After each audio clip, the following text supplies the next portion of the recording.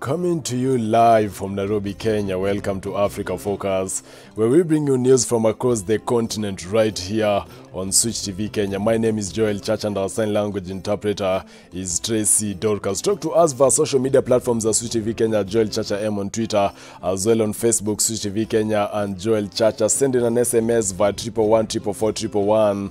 But first, here stories making headlines.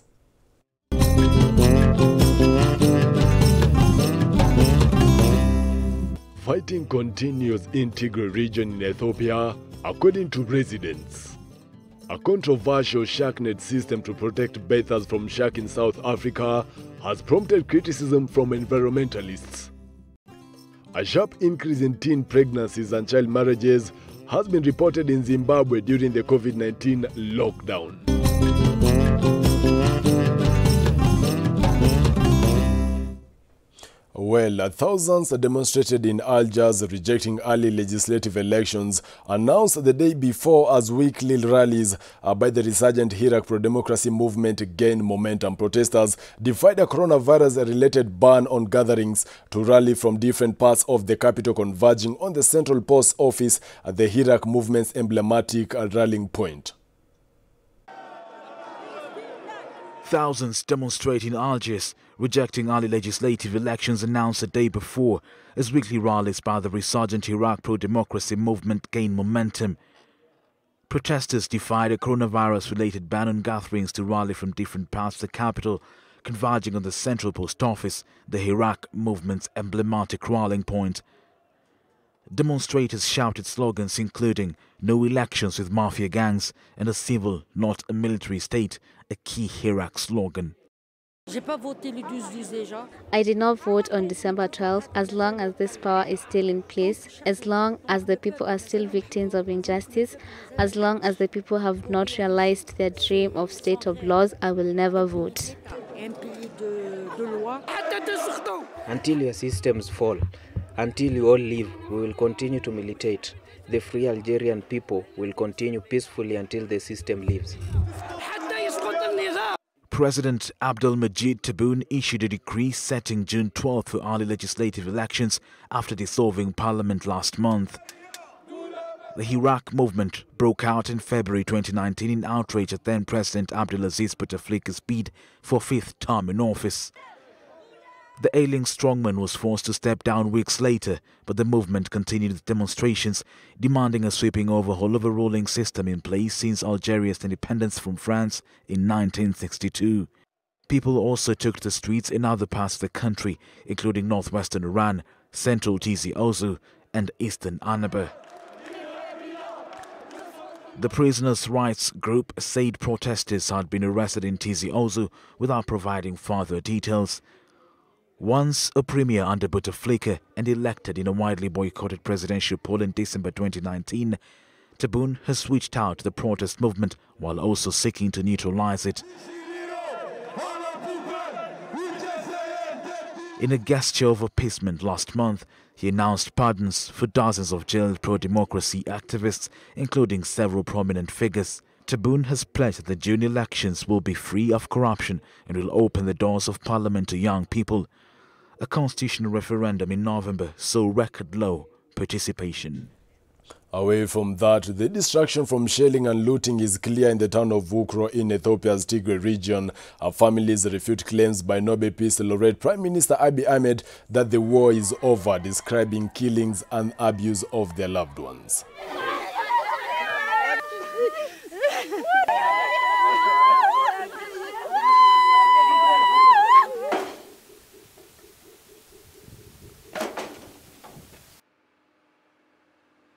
That would be a joke to me. That would be a joke because we are constant, constantly uh, receiving patients who are injured uh, by the war.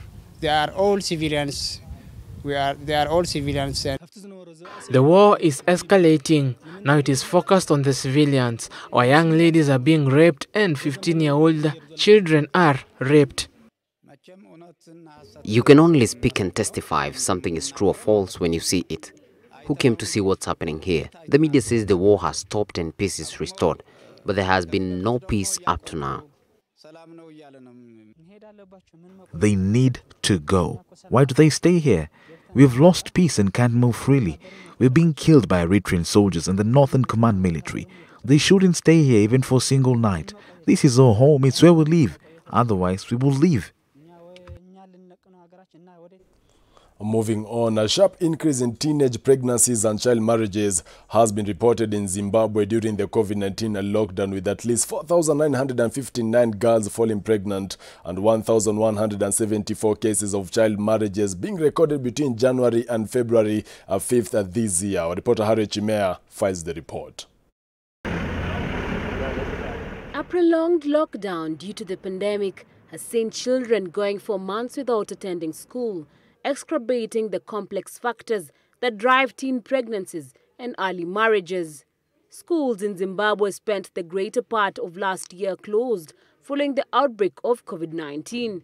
After abruptly closing in March last year, schools only reopened in a phased manner, starting with examination classes in September, followed by this year's examination classes in October and the rest of learners in November.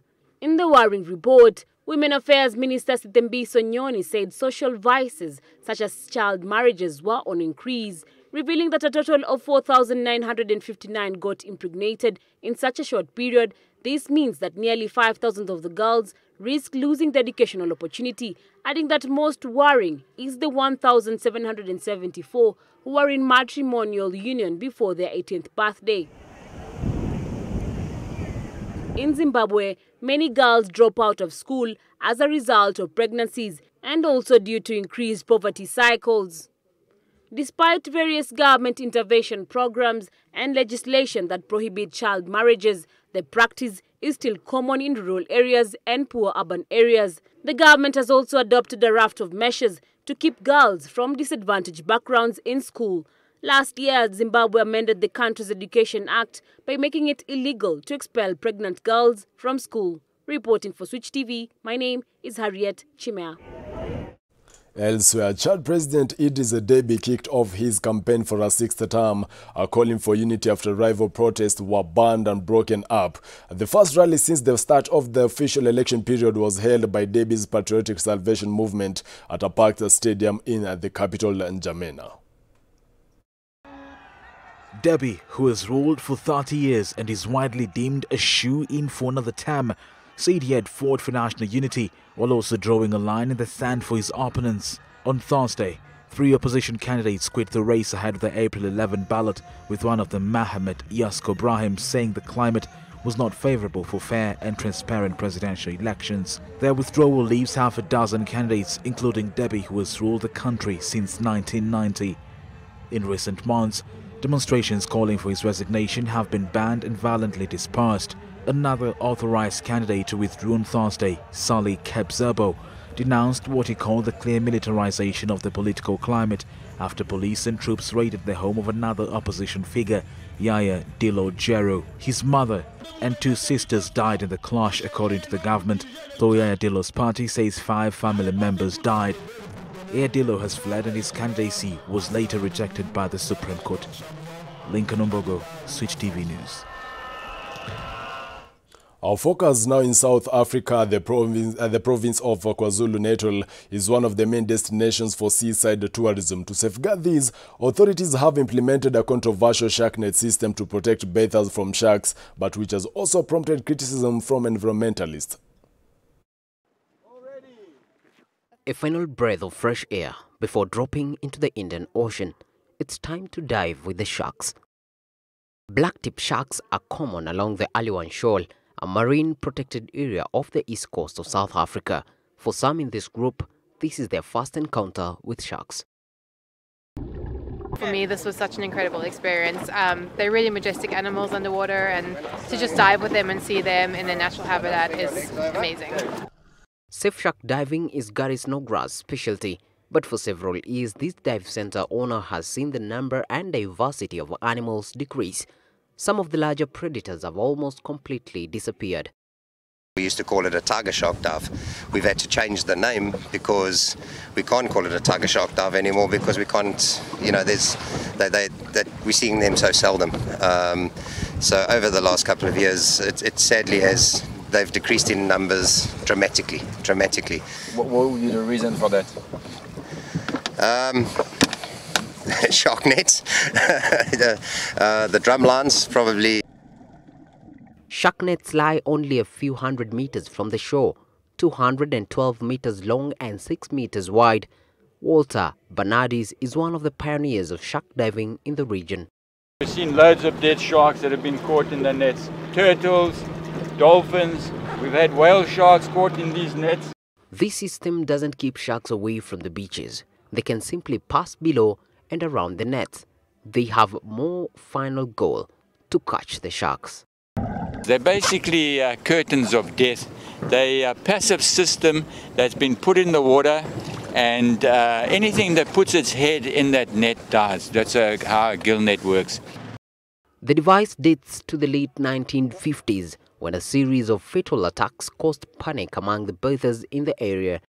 Today, the province shark board manages more than 37 beaches along 300 kilometers of coastline.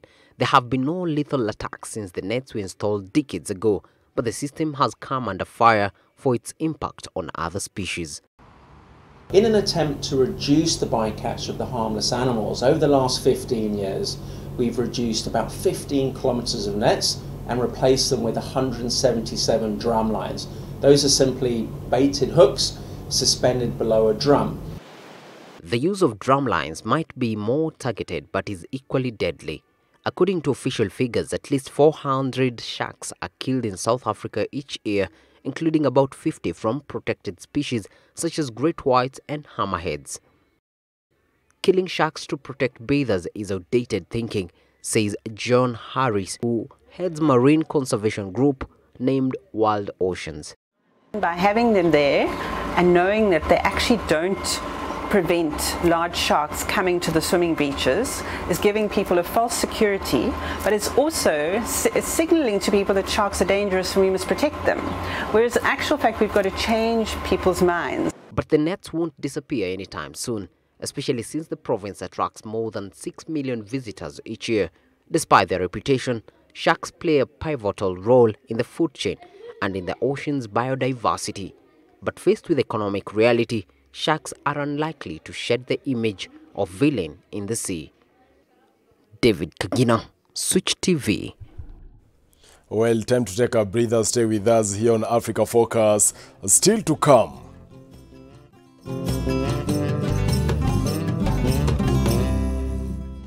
Several African countries roll out vaccination exercise as the World Health Organization says countries should continue using the AstraZeneca vaccine for now.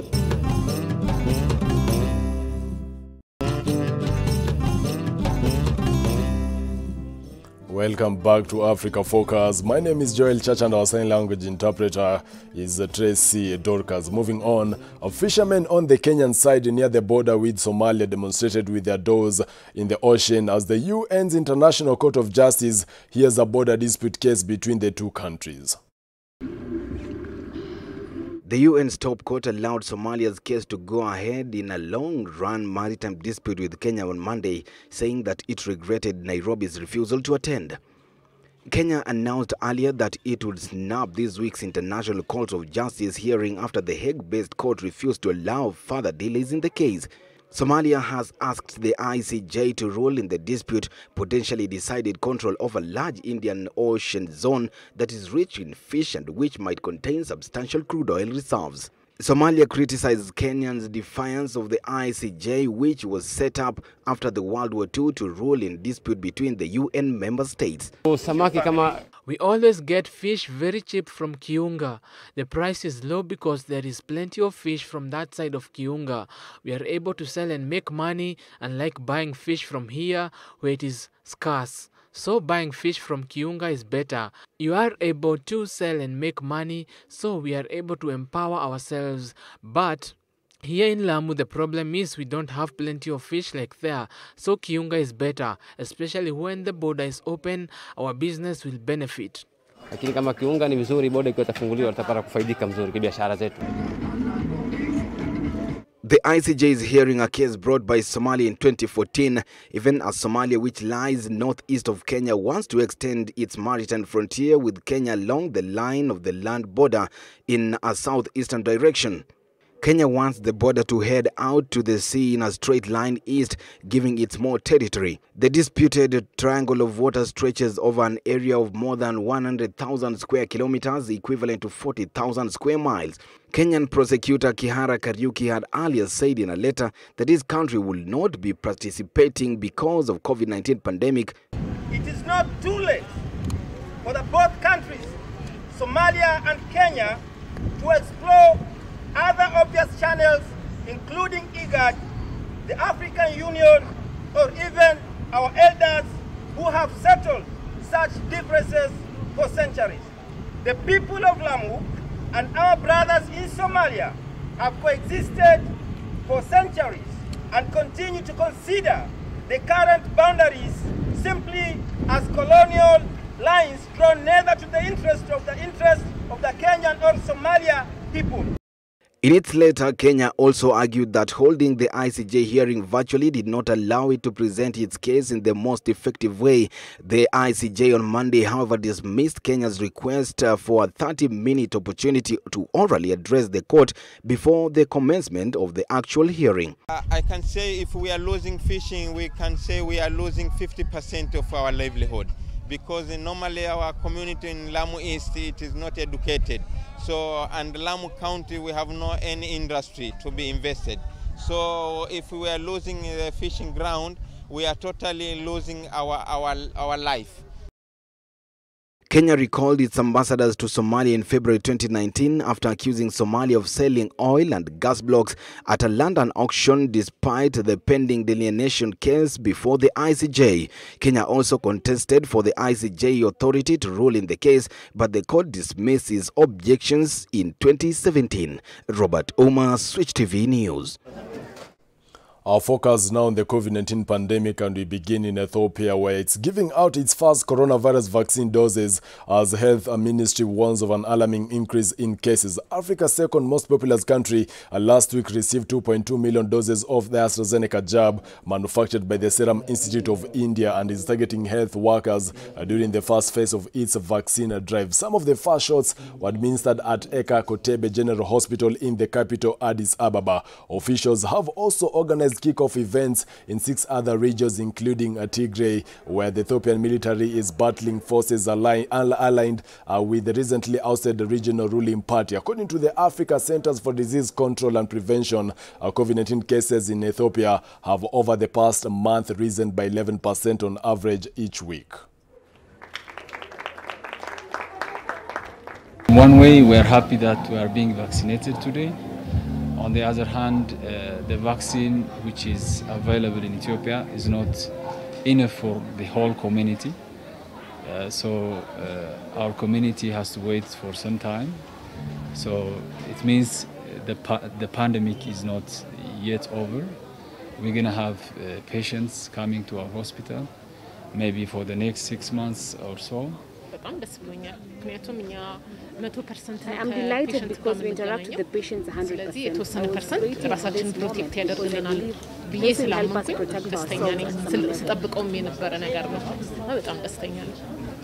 በቅርብ ጊዜያት ወዲህ ያለው የበሽታው The virus is spreading recently in a worrying way. It has reached an alarming stage. Despite this, the negligence of our society has also increased. We are going backward in terms of following the basic precautions. Meanwhile, Sierra Leone's President Julius Maada Bio and top government officials received first Sinopharm vaccine doses against COVID-19 at the State House in the capital, Freetown. Uh, Sierra Leone is set to receive 200,000 doses of the Chinese-made coronavirus vaccine Sinopharm, although the West African nation's officials' infection rate is far below that of the West, having recorded 3,880 cases since March and 79 deaths, but the country is nonetheless in the middle of a second wave of COVID-19 infections, which forced the government to impose a nationwide curfew last month. At this stage, it is a milestone that's been trying to fight off COVID using measures, but now we have a vaccine. And thanks be to the People's Republic of China and the COVAX facility, we have two sets of vaccines here that are quite safe. I think I can safely say that we have fought a very good fight. Elsewhere, Somalia received its first shipment of 300,000 doses of the Oxford AstraZeneca vaccine uh, destined for frontline workers and those most at risk from COVID-19. The conflict-torn nation has seen coronavirus cases soar 77% over the past month to 9,190, while deaths have more than doubled to a total of 367.